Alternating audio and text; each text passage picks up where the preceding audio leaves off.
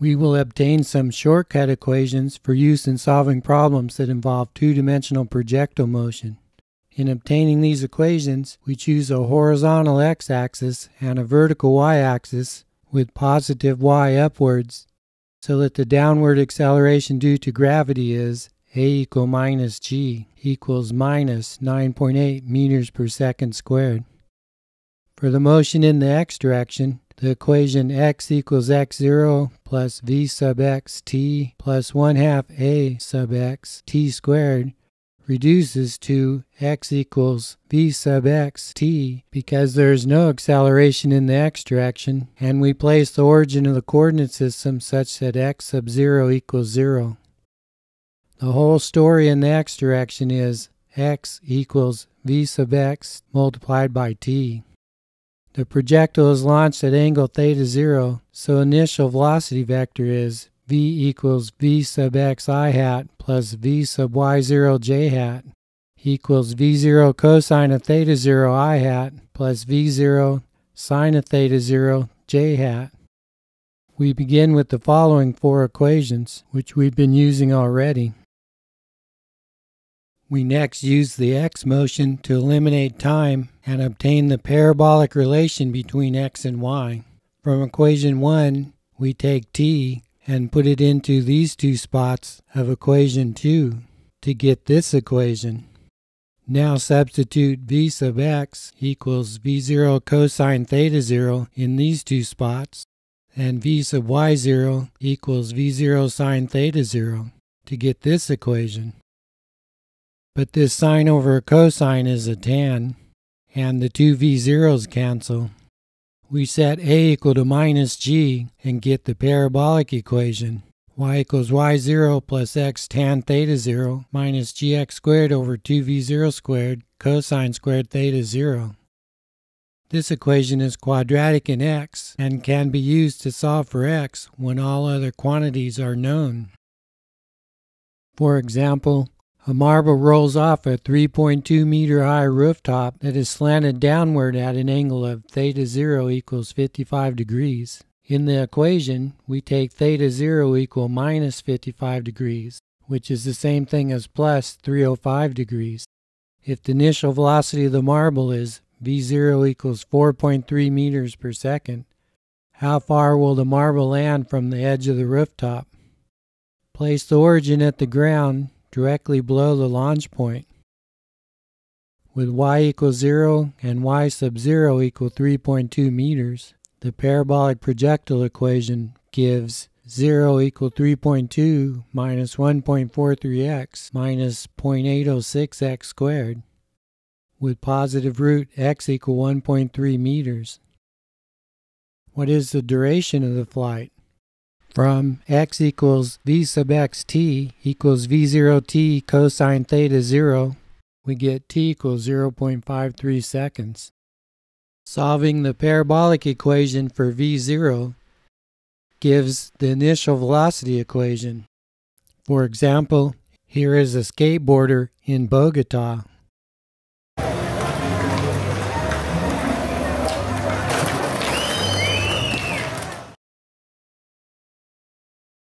This person lands at the ground, so we have y equals 0. The initial launch height, y sub 0, equals 1.2 meters. The initial launch angle, theta sub 0, equals 20 degrees. And the horizontal distance traveled, x, equals 2.5 meters.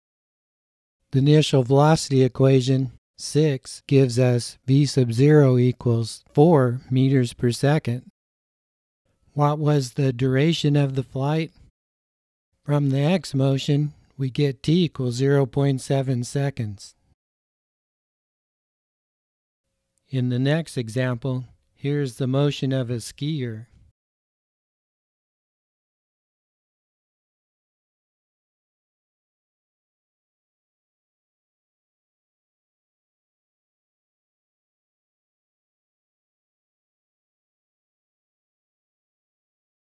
We estimate a launch angle of 20 degrees, a horizontal range of 4 meters, and a vertical drop of 2 meters. Equation 6 gives a launch velocity 5 meters per second. What was the duration of the flight? The x motion gives us 0.85 seconds. The center of mass of the skier follows a parabolic path. The spin of the skater has no effect on the xy motion. This will be a topic in the chapter on rotational motion. In the next example, a baseball is batted from a position 1 meter above the ground and initially moves at a launch angle of 45 degrees.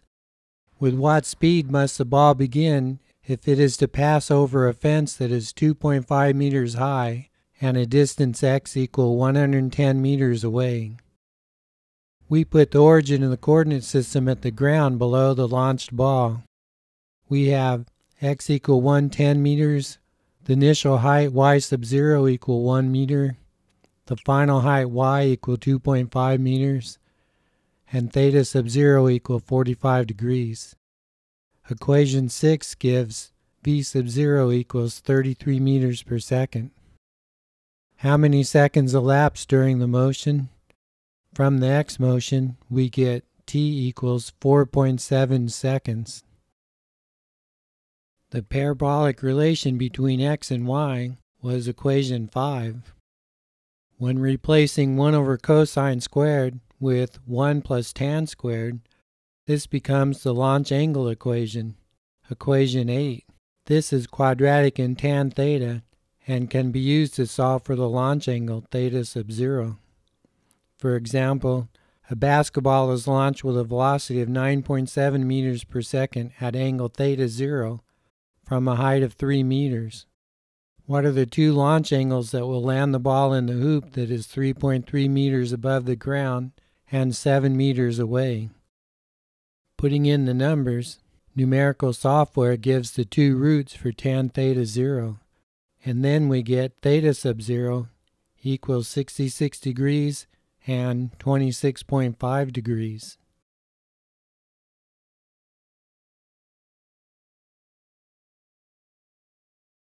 Here is equation 5, the parabolic relation between x and y.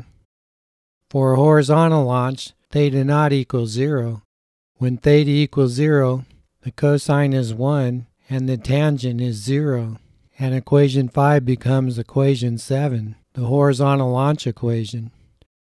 In this example, a marble rolls off a table and onto the floor. Initially, the marble has only an x component of its velocity. The y component of velocity is zero. A marble is launched horizontally at a speed of v naught equal 5 meters per second off a tabletop that is 1.3 meters above the ground. We have theta sub 0 equals 0. The initial height y sub 0 is 1.3 meters, and the final height is y equals 0. Where does the marble land? Equation 7 gives x equal 2.6 meters. What was the duration of the flight? From the x motion we get t equals 0.53 seconds. Starting with equation 5, the parabolic relation between x and y, we next obtain the range equation which describes projectile motion that begins and ends at the same height.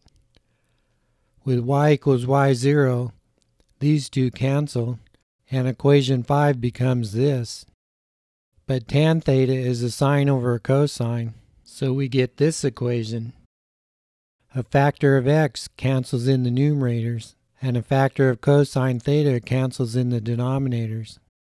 We move the remaining cosine from the denominator of this term to the numerator of this term. We use the trig identity 2 cosine theta sine theta equals sine 2 theta. Rename the distance x to r, which is said to be the horizontal range, and obtain the range equation. We keep this string of equal signs handy for use in various homework problems. The range equation is normally stated as r equals v0 squared sine 2 theta over g. The horizontal distance traveled is also the x component of velocity multiplied by time. If we choose to leave sine 2 theta as it was, then we have this version. The range equation applies only when the motion begins and ends at the same height. We set y equal y0 and obtained equation 9. We see that the range is maximum when sine 2 theta equals 0 which happens when theta is 45 degrees. When solving a homework problem involving projectile motion, you should first decide whether or not motion begins and ends at the same height. If it does, then use the range equation. Otherwise, try to use the parabolic projectile equation or one of its variants.